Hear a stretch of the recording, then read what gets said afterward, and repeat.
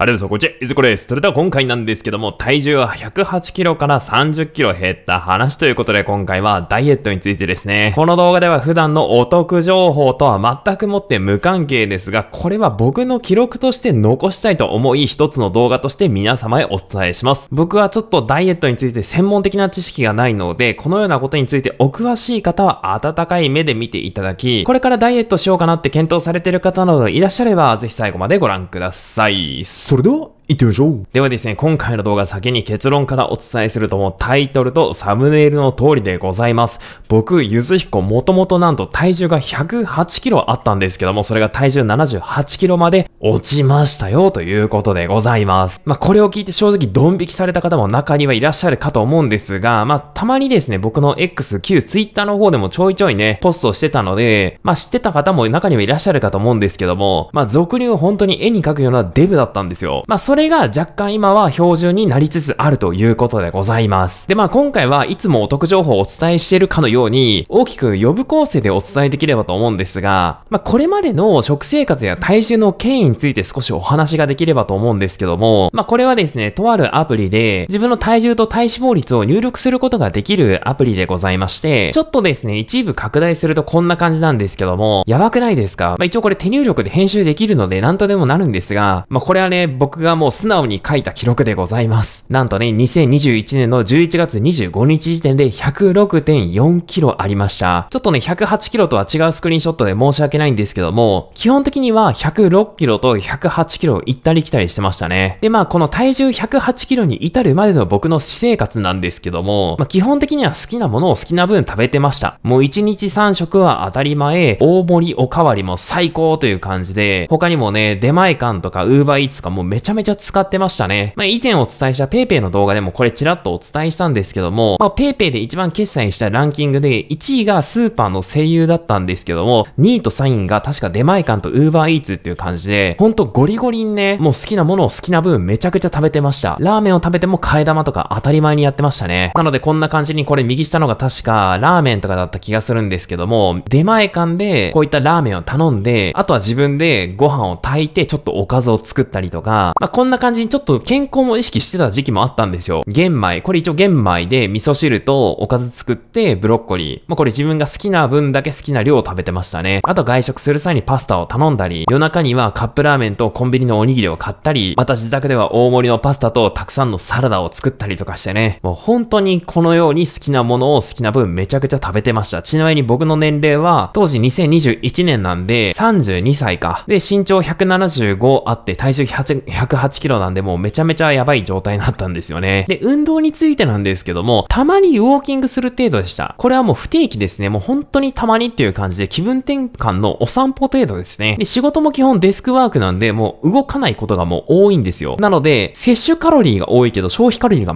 全くないっていう感じの生活を送ってましたね。なので、当たり前なんですけども、体重は減ることはほぼなくて、簡単に増え続けることが多くなって、将来的に正直不安しかなくなって、このことから丸2につなぐんですけども、ダイエットを決意しました。かっこ自己流ということで、一旦自分の中で何ができるかなっていうことで、もうこれめちゃめちゃ調べましたね。もう YouTube ひたすら見て、あとはインターネットのブログとかいろいろ見て、ダイエット方法みたいな感じでめちゃめちゃ調べました。で、実際に行った僕の自己流のダイエット方法なんですけども、まず食事は、白米をあの、オートミールというものに置き換えました。オートミールって多分聞いたことあると思うんですが、もう僕ね、ほんと白ご飯が大好きなんで、これを置き換えるっていうのがめちゃくちゃほんと大変だったんですけども、まあ、今回はこのオートミール、栄養豊富な加工オート麦の食品という風にも言われてるんですが、ちょっとね、水に浸してレンチンしたら、ちょっとふやけてご飯っぽくなるんですよ。そのふやかしたオートミールにふりかけをかけて食べたりとか、あとはチャーハンにしたりとか、そういった感じでお米の代わりに食べてましたね。あとは野菜とか鶏の胸肉を多めに食べてました。特に量とか考えず、基本多めに食べてましたね。まあ、いい例がこれですね。野菜多めで鶏の胸肉。けど、ちょっとしたチャーハン、これちなみににオートミールのチャーハンなんですよね。で、豆腐も食べるって感じで、特に量は気にせず、こういったものに置き換えましたね。あとは、こんな感じにちょっと見栄えが悪くて申し訳ないんですが、オートミールレンチンしたものに、卵と納豆をこれにかけて食べたりとか、あとはサラダとか、ナスの煮浸しっていうんですかね。鶏の胸肉って感じで、ちょっと自己流でそれっぽくね、ダイエット料理を作ってたんですよ。食事はこんな感じで、運動なんですけども、週5でウォーキングをしてましたね。そしてこのウォ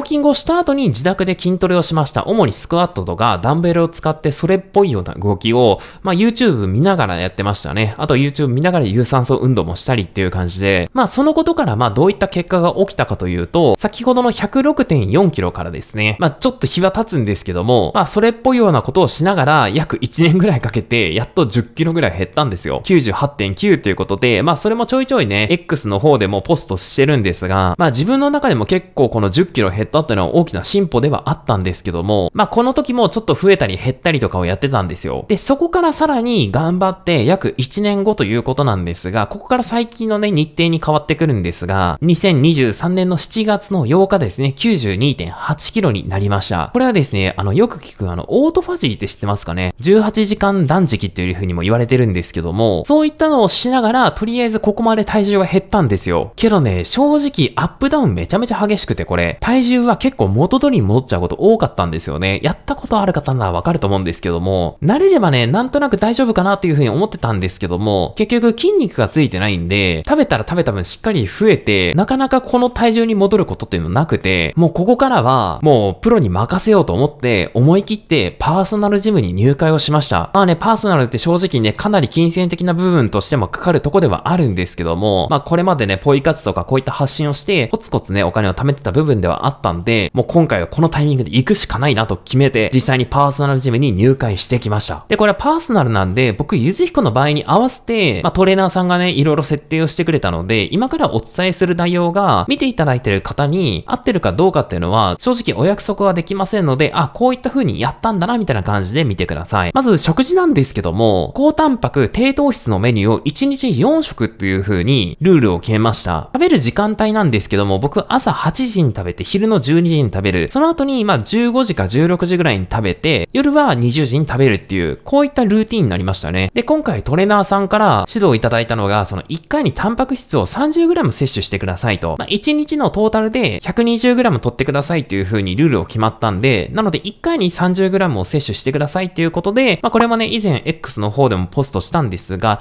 だいたいこんな感じのメニューを1日に4回食べるという感じでございました。鶏の胸肉と卵焼きとブロッコリーとおひたしみたいな感じで、まあ、量はだいたいこんな感じですね。なので、僕の場合結構ね、もうまとめて作ることが多かったんで、こんな風にもうタッパに同じぐらいの量をですね、もう詰めて冷蔵庫に入れてたりとかして、先ほどのまあ8時、12時、16時、まあ食べれる時に食べて、作れる時にまとめて作るっていう感じでやってましたね。まあ慣れるまでちょっと大変なんですけども、なんとか頑張って食べてましたね。あとはちょいちょいね、おかずも足したりして、トレーナーさんから OK いただいたもので、例えば、このモズクスとか、あとはモロヘイヤがちょっとね、夏にすごいハマってた時期あったんで、モロヘイヤとか、あとは朝の時間帯に、例えば、卵をこの納豆に置き換えたりとか、あとはどうしても白米が食べたくなった時は、玄米にしてくださいっていう風に僕、トレーナーさんから言われたんで、白米を玄米に置き換えて食べてましたね。けどこの玄米を食べるのは本当にたまーにっていう感じで、毎回毎食食べてるわけではなかったです。もう本当にどうしても食べたくなった時にこの玄米を食べてましたね。ちなみにこの玄米は、だいたい 120g で、僕はこちらの楽天市場で買ったりしてたんで、まあ気になる方は概要欄のリンクををタップしてみてください。で、先ほどから紹介しているこの鶏の胸肉なんですけども、これ正直ですね、鶏の胸肉ってもうパサパサなることってめちゃくちゃ多いと思うんですが、これですね、めちゃくちゃおすすめのメニューあるんですけども、これもね、X の方でもポストすることがあるんですが、つい最近のだとこちらですね、108キロデブが79キロまで落とした時の強い味方、鶏の胸肉とすき焼きのタレっていう感じで、まあこういった感じに作りますよってい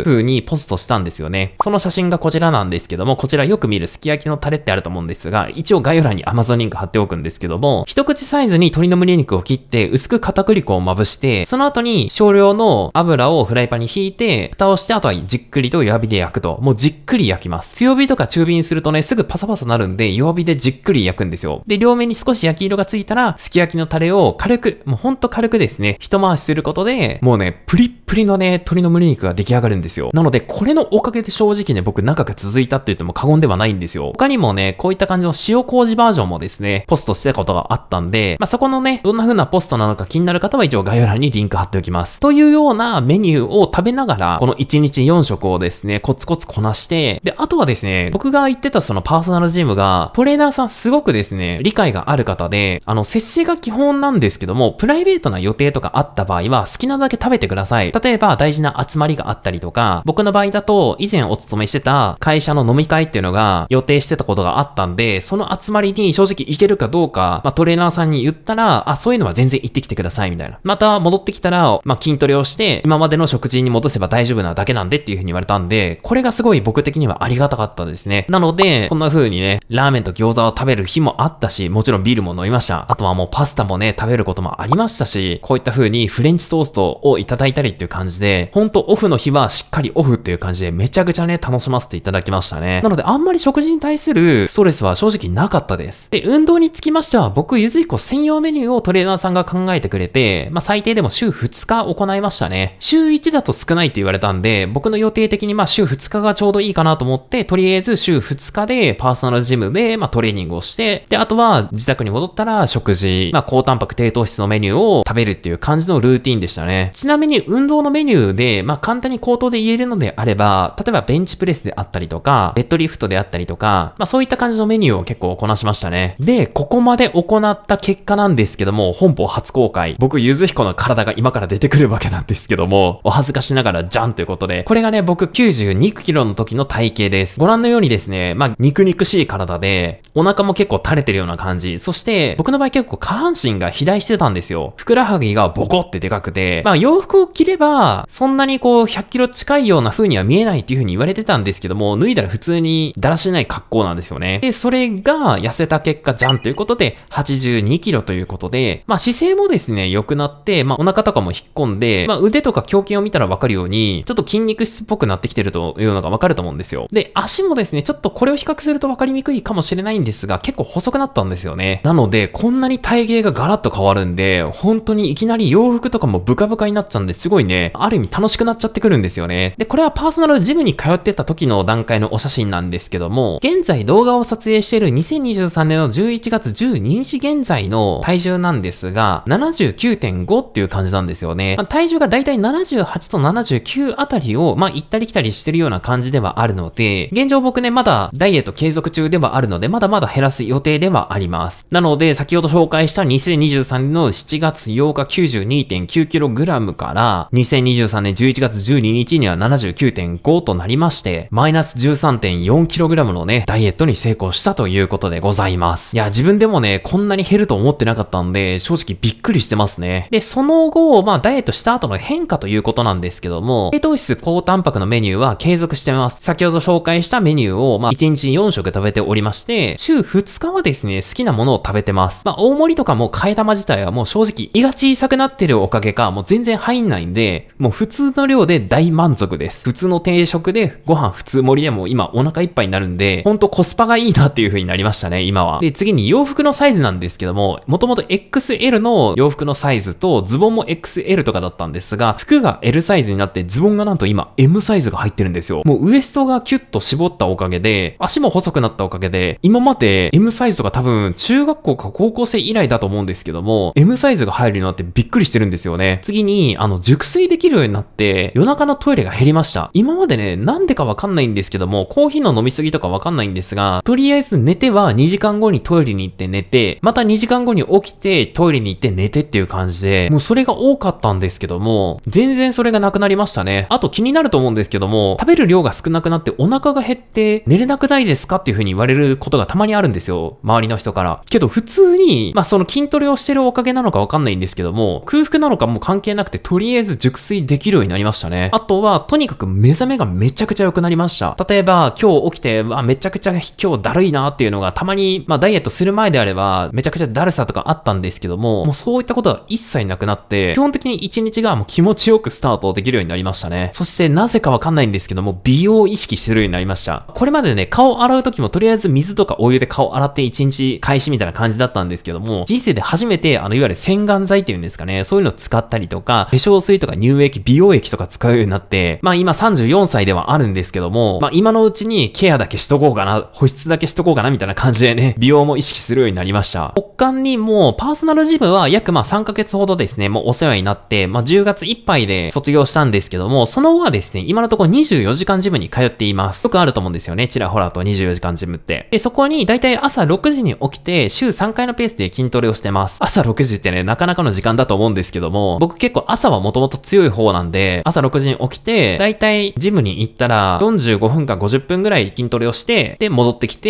っていう感じの日々を過ごしてますね。で、あと、ジムに行く以外は基本運動という運動は全然してないんですよ。もう散歩程度はするんですけども、基本はもうジムで運動して、それ以外は何もしてません。もうこれまで通り引きこもってますね。で、あとは自分の目標とすると、75から 78kg の体重をキープするのが、僕的なまあ理想ではあるので、まあ今後も筋トレと、今みたいな食事制限は継続しようかなっていうふうに考えているとこではあります。まあそんなこんなで今回は体重 108kg デブがダイエット後約 30kg 体重が減ったことについて簡単ではありましたけども、お伝えさせていただきました。まあこれは正直ね、この動画見ていただいている方が有益になるかというと、正直有益ではないんですが、もうこれは冒頭でもお伝えしたように、僕の記録としてね、残したかったので、一本の動画としてね、お伝えをさせていただきました。いや、ほんとね、ダイエットしてね、もう正直いいことしかないんですよ。昔の108キロの僕に言いたいぐらい、まあもちろんパーソナルジムに行ったりとか、まあちょっとお金かかったとこではあるんですけども、まあこれも正直、ある意味、元気に生きるための投資みたいなものにはなるので、これが、現在34歳ではあるんですけども、早いうちにできたらよかったなっていうふうに思ってるとこではあります。たまに実家とかに帰ったりすると、母からね、めちゃくちゃ痩せたねとか、周りからも結構ね、痩せたねっていうふうに言われるんで、これね、正直めちゃくちゃテンションが上がります。まあ、正直ね、この動画見ていただいてる方で、そんなに100キロ超えてるような人ってあんまりいないとは思うんですけども、もしね、僕みたいに、ちょっと痩せれてることで悩んでる方がいらっしゃればね、僕の場合はこんな感じに痩せたということで、まあ、参考になるかどうかわかんないんですけども、ゆずひこはこんな感じで痩せたんだな、みたいな感じでね、頭の片隅に置いていただければと思います。あこの動画自体ね、多分あまり再生数は回らないと思うので、もしかするとこの動画が最後かもしれないんですけども、ぜひね、今回のこの動画を見てね、動画の感想とかあればコメント欄に書いてください。もう少しダイエット系の動画が見たいですとか、いやいや、マジでデブすぎるだろうとか、これは何でもいいので、まあ、ぜひね、この動画を見ていただいた方はですね、思った感想などあれば、じゃんじゃん書いてください。と